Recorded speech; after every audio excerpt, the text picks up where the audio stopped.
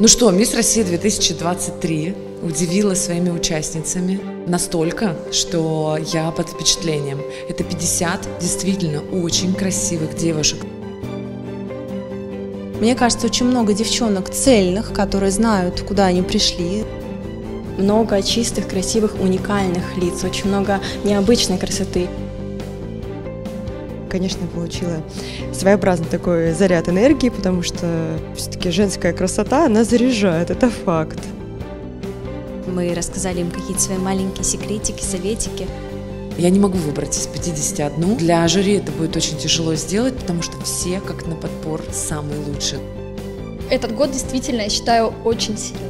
Участницам необходимо развивать навыки коммуникации, общаться друг с другом, наслаждаться этим временем.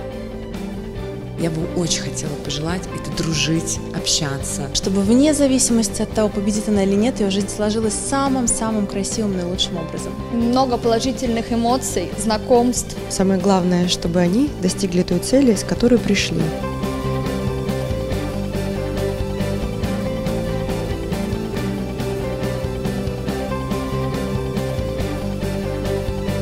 Мне очень понравилась встреча. А, буду рада увидеться с девочками теперь на прежури. Ну и, конечно, на финале конкурса передать одной из них ту самую заветную корону.